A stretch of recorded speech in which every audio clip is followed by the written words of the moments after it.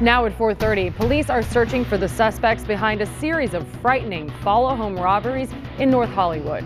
One of those suspects is a repeat offender that police say they cannot keep in jail.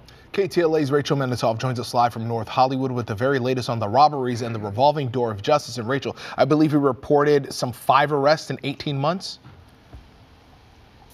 Pedro, that's exactly right. And surveillance video of one of those follow home robberies gives you a sense of how these crimes are playing out. Tonight, police tell me they're not releasing the exact locations or street addresses where this is happening at the request of the victims.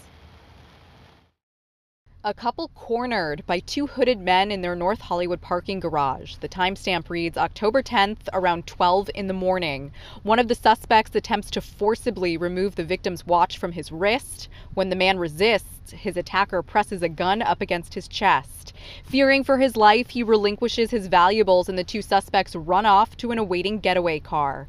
This is one of at least two follow home robberies LAPD is investigating in the North Hollywood area.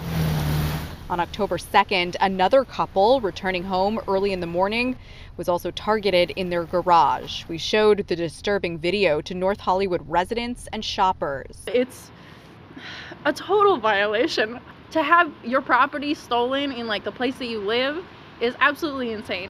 Like, how dare you feel like you have the right to walk up and take somebody else's possessions that you haven't earned? LAPD says it's looking for this man, 20 year old Deshaun Dow. It believes he was involved in both violent robberies and that he's the person handling the gun. In the last 18 months, Dow was arrested five times, but was able to post bond each time. He's also wanted for two other follow home robberies in the downtown area. It's bold to just be waiting in a garage that's gated with no fear of that. It shows the audaciousness of it. The victim in this video appears caught off guard and is outnumbered. Antoine Alexander, who viewed the video, says it seems like he only had one choice.